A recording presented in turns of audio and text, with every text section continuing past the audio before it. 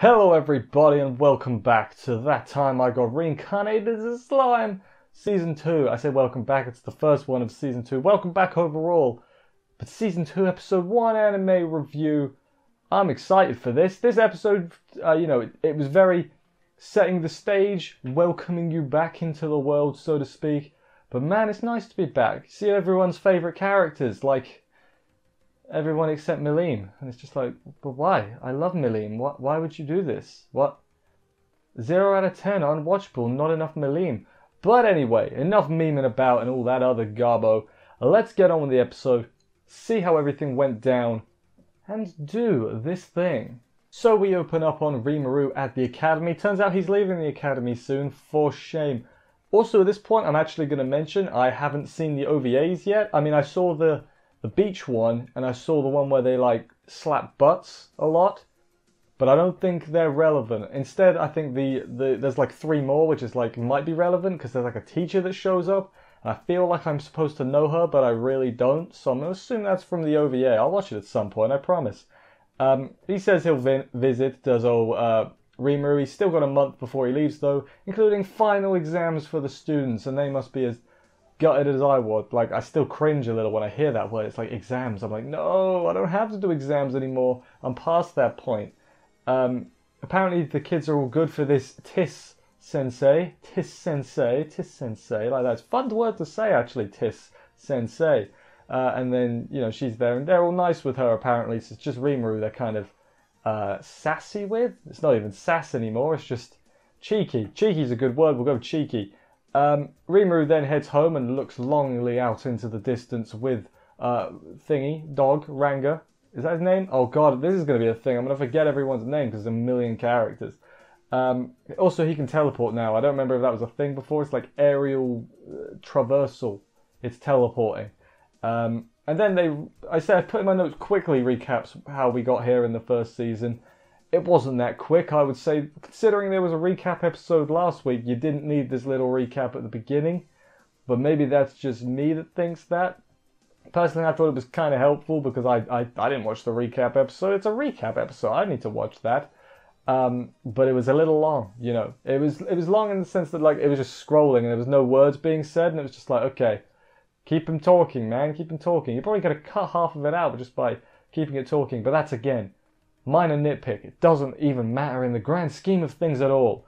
Um, and then they look out and like, man, I hope this time of peace will last forever. And I'm like, well, now it's not gonna because you've said that. You've jinxed it, uh, Rimuru. You've you have chosen you've chosen the time of peace to not last forever. It turns out. It turns out that after the the meeting with the Demon Lord guy at some point last season, I forget exactly when it was, they're sending delegates now to, to their country and they're getting some from his country and they're just going to scope the place out, say hello, how you doing, you know, stuff to that effect.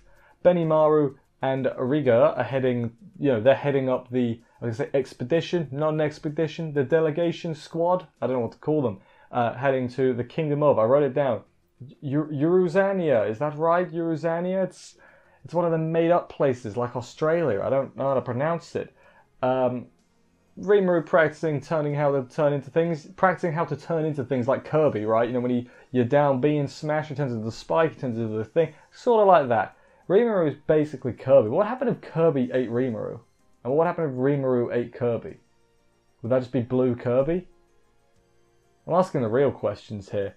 Uh, the girls bring him some clothes. The girls, of course, being Shuna and Shion. Um, they bring him some clothes, which are not exactly. I mean, they're pretty wacky. He's got dresses. Uh, there was a samurai like armor outfit, and it's just like for his, I guess, a dress for what he's going to do.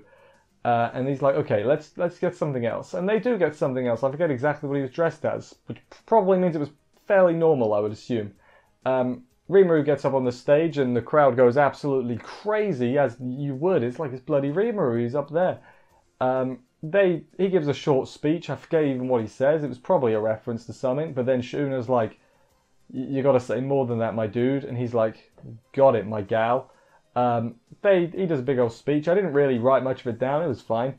Um, he he says to Benimaru afterwards, "Hey, don't get into a fight, but the, like basically, don't get into a fight, but don't let yourself get killed. Like don't don't don't cause trouble, but don't you know don't don't die basically. Just if you need to escape, escape. Uh, what are they? They're going to find if they can get along with the other country. Can they have some sort of peaceful coexistence? Maybe some sort of trade deal. I don't know what they sell in Eurazania. Probably. I don't know. I, I couldn't think of a funny joke. Um, or do we need to cut ties with them? I would suggest cutting toys, cutting toys, cutting ties with a big, powerful demon lord is not the smartest idea. Um, they might come for revenge, although you um, you have one of them as your own. You know, you, it's like Pokemon. You send your own demon lord against theirs.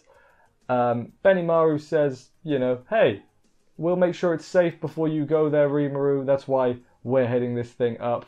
Uh, and then they're like, here's hoping to good negotiations. And again, I'm like, now that you've said it, it's not going to be good negotiations. It's going to be bad negotiations, which is the opposite of good.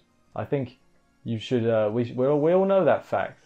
Rimuru and those that are left behind go about preparing for the delegates from the kingdom of Eurazania, I think of a kingdom, to before they show up. Uh, gotta go see Gazelle at some point, King Gazelle or Gazel. Gazelle sounds like an animal because it is an animal. Um, and then Treyni shows up. Treyni's the little wind spirit. Again, forgetting people's names and basically says, hey, the delegates are in the forest. They'll be here in like five days.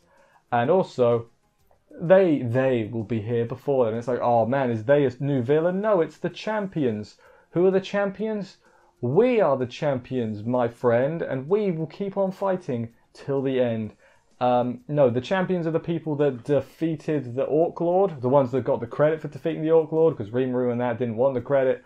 Remember, uh, they explain it in this. I'm sure you remember. I had actually forgotten who they were. So I'm actually kind of glad for the little bit. Just Rimuru going, oh yeah, this is who these people are. You know, that's all you really need for a recap in my book. Uh, they save some girl and say, Tempest, there's good monsters there, they're friendly. Uh, and then Rimuru, and then we get a little, just see how Rimuru's time's going. He's got like five days to kill. He just spends his time doing whatever. He goes to some teaching. He's doing more preparation. It's like a little montage to get to the important bit. The important bit, of course, is all the dudes in the hot spring with some brandy.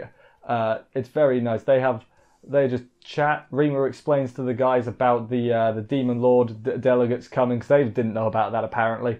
Uh, and also then briefly we see all the girls. Just no reason for it, but it's a bath scene, so I don't I don't think that needs further explanation really. Um, tells the the champions don't start a fight. Basically, just just don't just don't. I know he's a demon lord, but you know we're we're trying to be good here. We're trying to make peace. trying to do good things. Next day, they arrive. There's tiger drawn carriages. This woman shows up. Her name is Alvis. She's one of the Beastmasters, and Sophia is there too. She's kind of a dick, but is also a Beastmaster. Uh, so Sophia, not Sophia, Sophia with a U, hates humans, thinks they're weak and crap and all that. And uh, Rimuru's like, oh, you think they're crap, do you? He tells Yom, who is like the head champion guy, he has a big sword, and that is that, that is the most interesting thing about him. Uh, he's like, Rimuru's like, get him, Rome. Rome? Yom. Is it Yom? I've written Yom, so if that's wrong, my notes are wrong. Uh, basically gets him to go fight, and Shion is also angry because they were they were mean about Rimuru, and then she's like, I'll fight ye instead. So she does. Shion takes takes over from Yom and fights, what was her name? Sophia? Sophia! They're having like a bare knuckle brawl all over the place.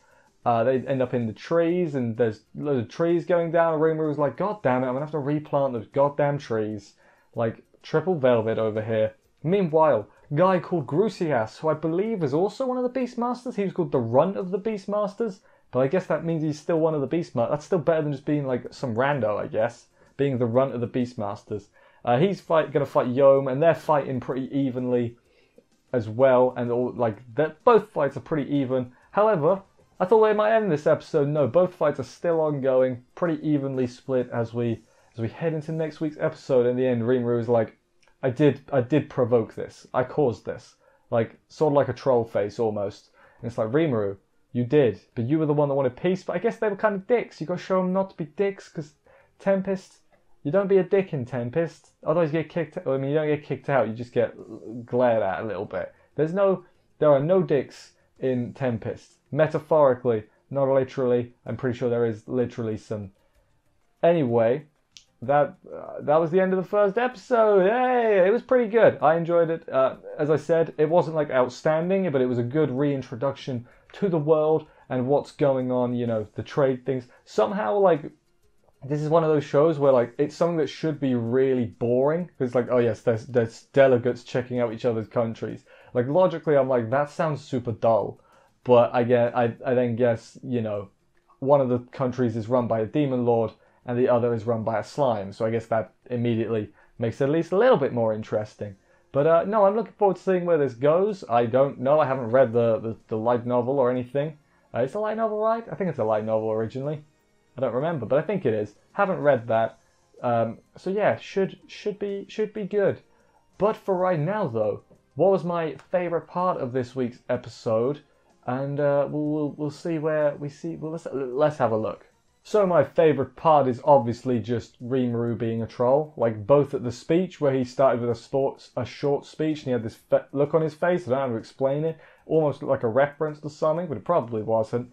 And then later on with him starting the fight or provoking the. I know he started it, even though he wasn't directly involved. He started the fight. Let's be real. Um, yeah, that I, I as I said, there's nothing super stand stood out this episode, but it was just really nice reintroduction, and I'm, looking forward to seeing where things, you know, what happens next. Hopefully, we'll get some Milim soon because Milim is the best. If we don't have any Milim, I'm gonna be mad. I'm not gonna be mad. I mean, I'll still be happy watching it, but I'll be just a little bit empty on the inside. Uh, Milim is the best, you know? I'm sure people will disagree. They'll be like, no, how dare you? Rimuru is best girl. And I'm just there like, is. I'm not going to open that can of worms, actually. That's, you know, you do you, basically. You do you. But anyway, for right now, thank you everybody for watching this review. I hope you enjoyed it. If you did, subscribe and stuff. For more reviews, I'll be here every week reviewing slime, and there's other stuff reviewing too. Isn't that exciting? Yes, it is. For right now, though, I'll see you next week, so take care, and bye, guys.